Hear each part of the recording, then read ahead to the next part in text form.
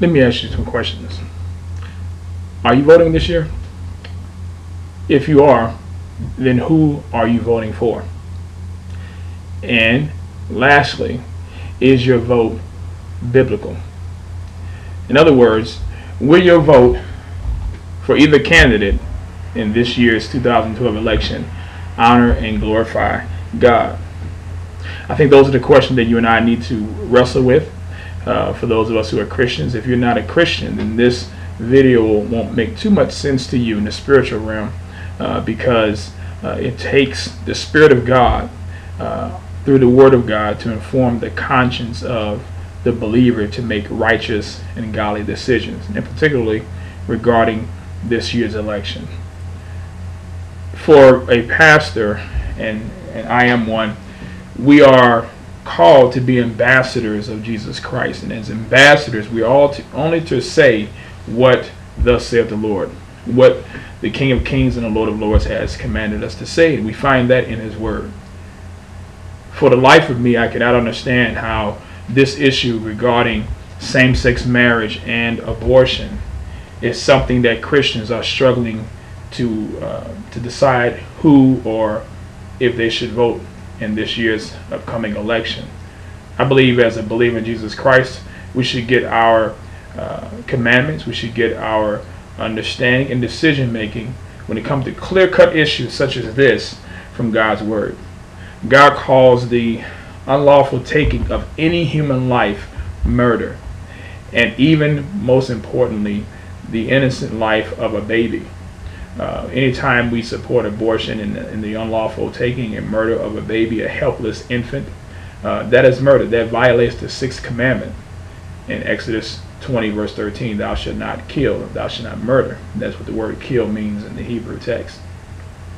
So, for those of us who are Christians, I want us to understand that this is not something that is an isolated issue. This is not even something that is a civil rights issue, as uh, uh, Al Sharpton or Otis Moss the, the third would so want us to believe, which is just an out and out downright lie.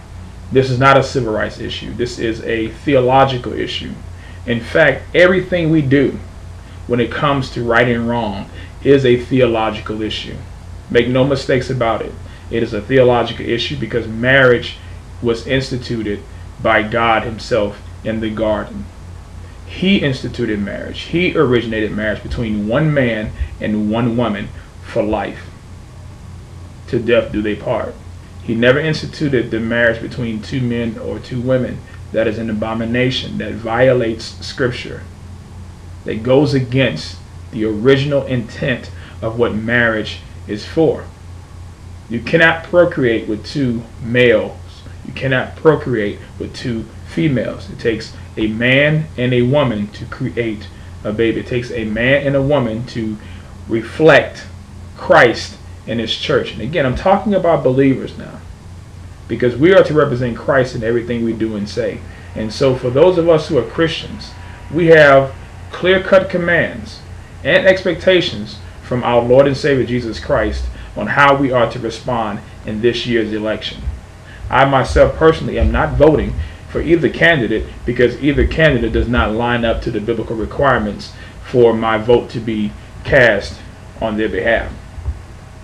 Whether you support same-sex marriage as Barack Obama does, or whether you support civil unions as uh, uh, Senator Mitt, uh, Governor Mitt Romney does, uh, both are violations of Scripture because it is again an attack against the original blueprint of the family, and that is marriage gays do not have rights as heterosexual married couples do. To give gay rights the same rights as married couples do, do have is a sin. Because it's one man and one woman. So to give married couples tax breaks, so to give marriage couples uh, uh, any other incentives, uh, to give gay couples that, as married couples have, that is a violation of God's word and we are to have no part of that.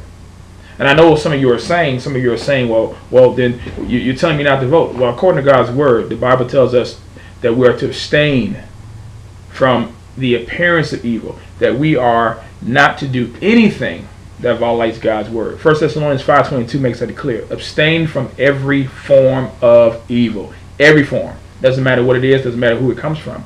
Every form of evil should be shunned.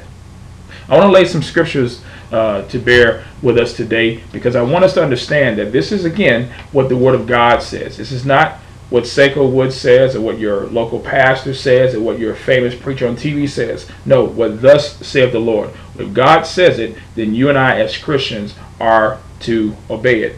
First thing we need to understand is that anything we do is to be done to the glory and honor of God. Is the taking of a human life, i.e. a baby, glorifying and honoring God? Can't. It's murder.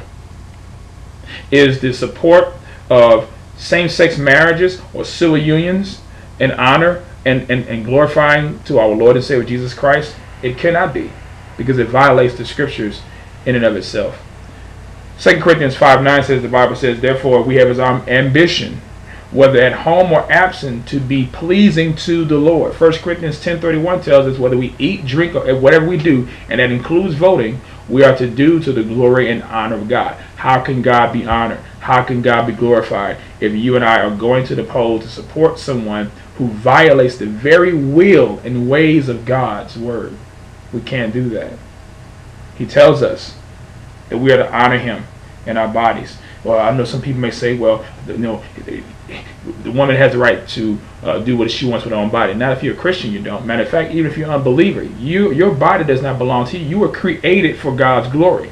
You were created to serve Him, to love Him, to worship Him with your body, and most importantly, and most especially, the uh, the believer is has the power and the ability to do so, and to not do that, and to follow the ways of the world, and to follow the lie of Satan and saying that your body belongs to you, you can do whatever you want to do with do with it. God says, no, you don't. That's a lie from the pit.